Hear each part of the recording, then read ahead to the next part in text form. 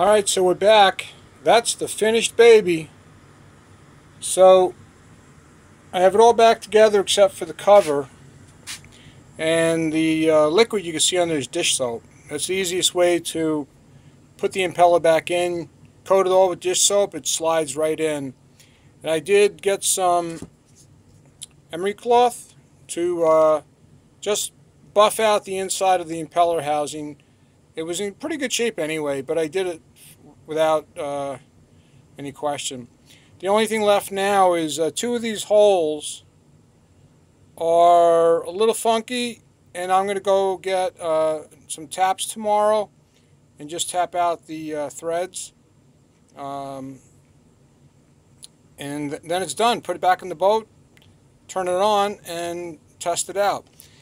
And while I was in the boat, I decided to go a little step further, pull off the pulleys.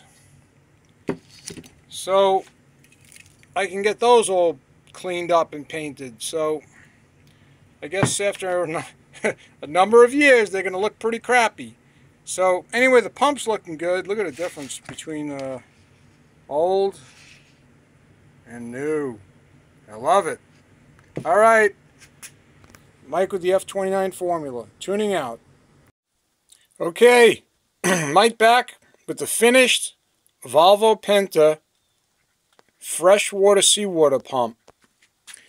Model number 857451. Uh, it's all back together. It spins fine.